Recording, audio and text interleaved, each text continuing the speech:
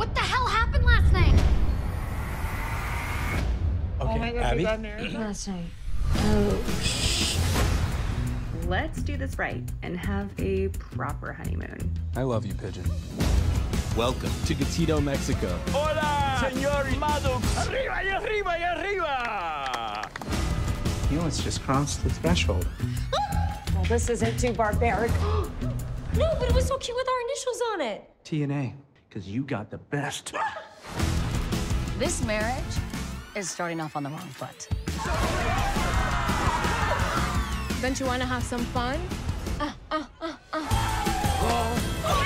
this is not about his needs. This marriage is about your needs. You cannot disrespect the power of the book. Please tell me that's not Abby. it's definitely Abby. What happened to Manny Petties? Said it was a topless beach. That doesn't apply to foreigners. Oh, leave me alone.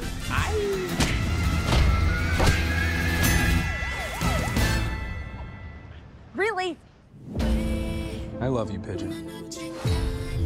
This is a pro con list. Just to see if we should get a quick annulment. I even gave us a head start because you have the biggest. Who's got the big? Look, I know I can be possessive. what I mean? You're suffocating her.